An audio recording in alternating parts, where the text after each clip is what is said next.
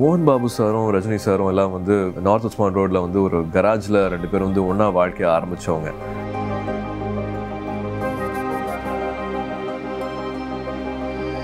ஒரு வில்லனாலாம் நடிச்சுட்டு அதுக்கப்புறமா வந்து ஒரு சின்ன சின்ன கேரக்டர்ஸ் பண்ணிட்டு ஒரு ஹீரோவாக மாறி அப்புறமா வந்து என்டிஆர் சார் வச்சுக்கிட்டு பெரிய பெரிய ஆக்டர்ஸை வச்சுக்கிட்டு ப்ரொடியூஸும் பண்ணியிருக்கிறாரு நடிச்சிருக்காரு. ஆந்திராவில் வந்து அவங்கள கலெக்ஷன் கிங் அப்படின்னு சொல்லுவாங்க. So he seen everything in life he's been an MP he's got school college யூனிவர்சிட்டிலாம் வச்சுருக்காரு.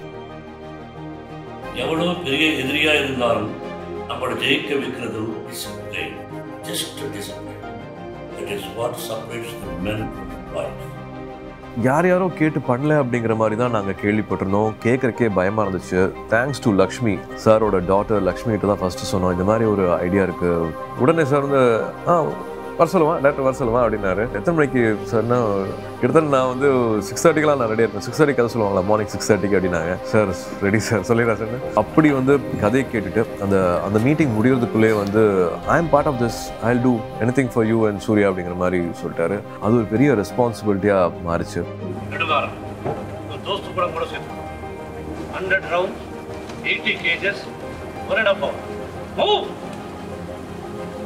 Cut. Shooting ஸ்பாட்டில் அவரை பார்க்கறது வந்து it was a learning for all of us ஒரு ஸ்டூடெண்ட் மாதிரி வந்து நின்னார். இது ஓகேவாமா இது ஓகேவாமா எப்படி கஷ்டம் ஓகேவா அப்படின்னு கேட்டுட்டு பண்ணது வந்து it was heart melting for all of us சாரை வந்து எந்த படத்துலையும் இல்லாத மாதிரி இந்த படத்தில் காமிக்கணும் அப்படிங்கிறது எங்களுக்கு ரெஸ்பான்சிபிலிட்டியாக இருந்துச்சு. ஐ திங்க் அவரோட வெல் விஷர்ஸ் அவரோட ஃபேன்ஸ் எல்லாருக்குமே வந்து சார் அதில் பார்க்க ரொம்ப பிடிக்கும்னு நினைக்கிறேன். I love this family. I love you.